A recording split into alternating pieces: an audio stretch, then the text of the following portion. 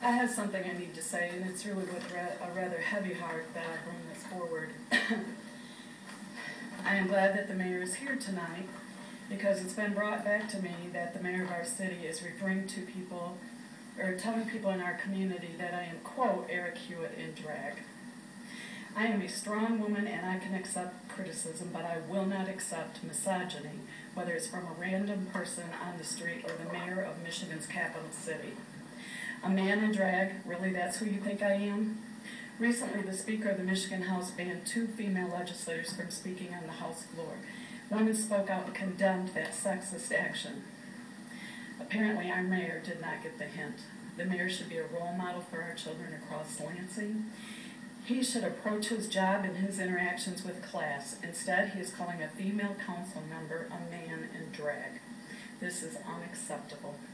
I have a daughter, I have three granddaughters. I want a Lansing where they can be leaders if they so choose. A Lansing where they can express their opinion without being told they are acting like a man in drag. I want to look them in the eye and tell them it's possible to have equal rights, be taken seriously, and to be treated with dignity and respect. I want this for my daughter, my granddaughters, the mayor's daughters, and all females in Lansing. The mayor's latest actions have made it crystal clear that the day of equal treatment for women has not yet come to Lansing.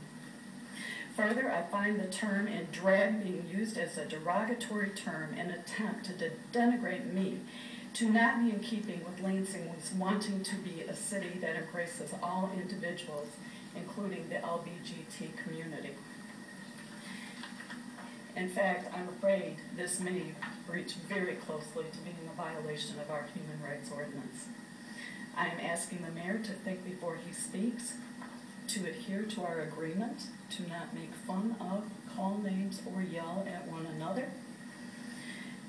I will have you know, when I vote, it has nothing to do with Virg Bernero. I neither vote for his issues or against. I research them, I do my homework, and I vote in my best conscience in what I believe is the best for Ward 1 and the city at large. I am a woman elected to do a job, and I am working hard to do it to the best of my ability. And I am asking that further comments of this type cease immediately. Councilmember Wood and then Mayor.